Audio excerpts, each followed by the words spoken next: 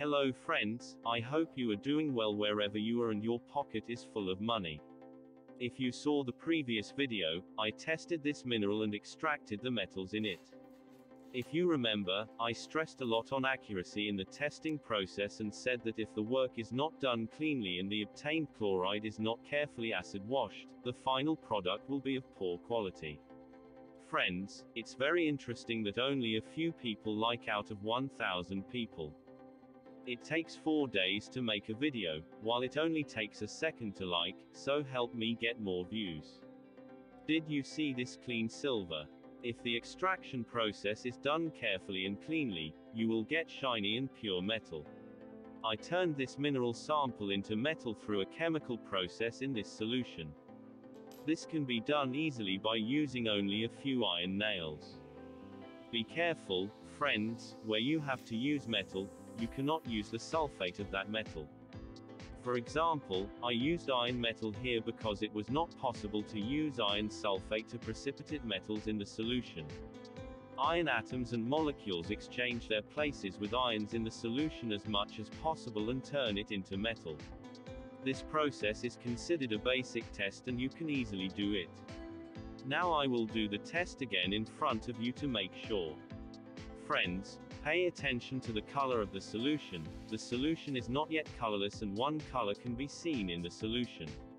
This means that there was a metal or metals in the solution with which the iron nail could not exchange atoms and molecules. I don't want to go into it right now because we are getting away from the main topic. Of course, sometimes the presence of color in the solution can be due to the excessive decomposition of the iron nail itself, which is turning into iron sulfate. Because iron has been able to precipitate metals lower than itself in the table as much as possible. However, colors can carry messages and it is necessary to carefully monitor all the details when testing. I will use aluminum in the next video to compare the results. I previously powdered this mineral sample, which contains gold, silver, and copper, and dissolved it in an acidic solution, and after filtering this solution, a blue color was obtained. You can see the details in the previous video. Now I want to put an iron nail inside it and see the process for yourself. Friends, please note that gold is present in this mineral in the form of sulfide. Pay attention to the good explanation so that you don't end up wasting time later. First, hold the iron nail in your hand to witness part of the molecular and ion exchange. That black halo that goes to the bottom of the container is gold because gold is heavy and does not stay suspended. Also, if the solution contains a lot of sulfur, that black halo may be seen more intensely. If the sulfide ore does not contain gold, the aura will be orange. That is, if you test a pyrite mineral that does not contain gold sulfide, it will appear an orange halo. I am not using the Stannous test here because this is not an aqua regia solution. Note that gold sulfide does not require the aqua regia method. To extract gold sulfides from the mine, you can use cyanide or thiocyanide. The thiocyanide method has less risks than cyanide. If you want me to show these two methods, just say it in the comments. These two methods are more economical than acid for working in high tonnage. Acids are used when you want to increase the purity of your gold or silver bullion. E here, ion exchange took place and some metal was formed. Now the question is why it does not settle and floats on the surface. This means that the ore also contains some zinc, and this zinc is repeatedly included in the recovery cycle of other elements in the solution, so that it decomposes and changes its place with other metals, and then the metals settle down. Interesting, does not it? Therefore, the chemical behavior of mineral soil cannot be predicted and each mine has its own technical and chemical characteristics. When you dissolve a piece of gold in acid and reprecipitate it with iron sulfate or whatever, it's completely different than what you're doing in soil. Two disturbances in the mine soil make the process of gold extraction difficult. These two are lead and sulfur. But don't worry, I have found good solutions for them. Friends, in addition to my YouTube channel, you can also join the Telegram group and be in touch with the whole world and even buy or sell ornamental or mineral stones. This channel was created with the aim of creating a healthy business and is currently free.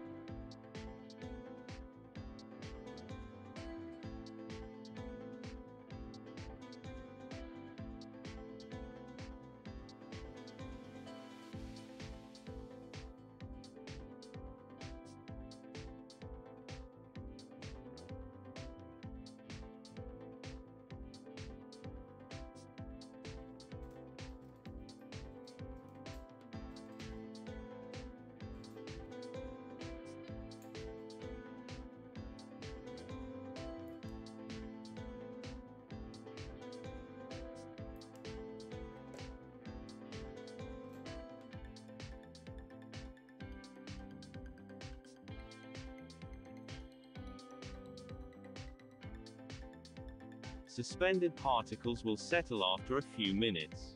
You have to be patient in doing the tests because it takes hours for the result of a test to be known. Do not forget to use a mask and glasses because some chemicals may be thrown out of the glass due to the reverse reaction and cause serious damage to the face and eyes.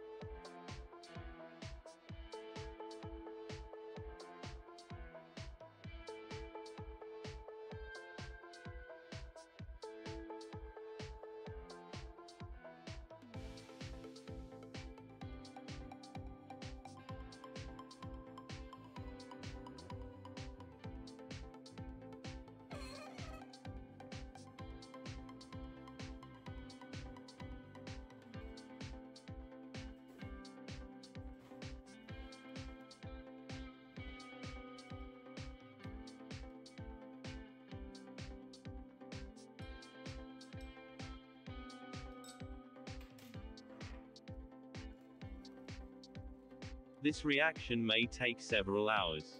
So, until now, you have understood how to deposit hidden metals in an acidic solution in a simple way.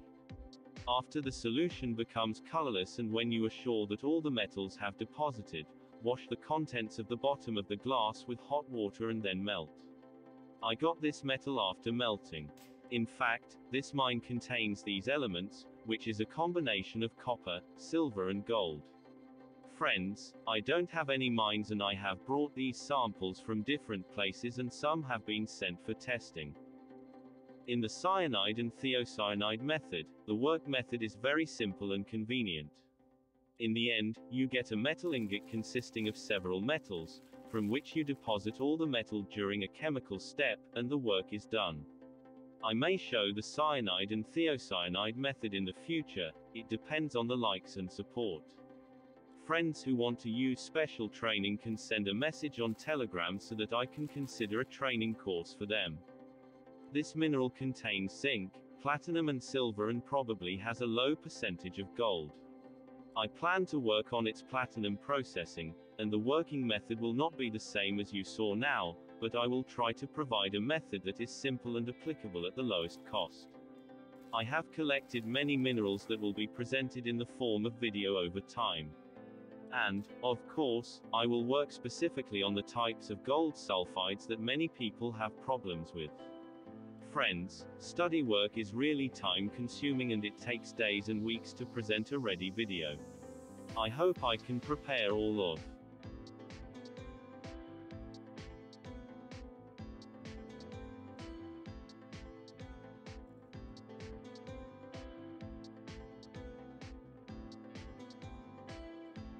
friends, to support me in the projects I present, just like and comment and become a member.